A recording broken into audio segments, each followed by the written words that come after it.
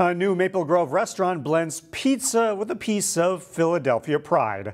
In this edition of Takeout Tuesday, we take you to Tono Pizzeria and Cheesesteaks, a local chain that's growing across the metro. Let's see how this cooks. When it comes to pizza, everyone has their personal preference. You got New York style, you got Neapolitan style, you know, you got bar pizza, you got frozen pizza. All are good, right? And all have a place. But if you're looking for a place that has something a little different, look no further than Maple Grove's newest pizzeria, Tono. My dad's from Sicily, my mom's from Philadelphia. I worked for my parents growing up in the pizza industry, so it's something I always uh, wanted to do. What Antonio Gambino has done is created a place that sells pizza and Philly cheesesteaks all under one roof. You can get pizza in a lot of spots where it's like cheesesteaks like where can you get a cheesesteak? Maybe maybe the mall, right? Who goes to the mall anymore, right?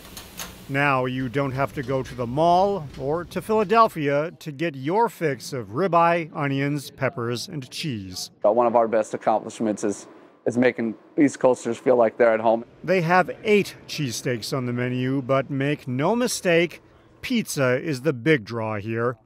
It's a style of pizza Gambino refers to as artisanal. A blend of New York style and Neapolitan. Tono serves a thin crust pizza using dough made from locally sourced flour that cooks for two and a half minutes in a brick oven set to 660 degrees.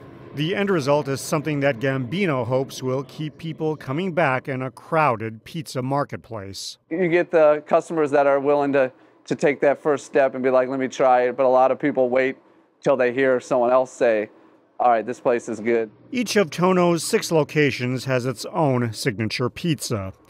Here in Maple Grove, it's the Don Carlo, a pie topped with pepperoni, hot honey, cheese, and basil.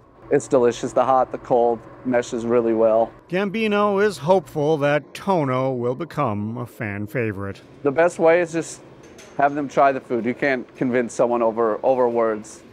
And if you go on Tuesdays, you can get two pizzas for the price of one. Find more local news stories at ccxmedia.org and follow us on social media.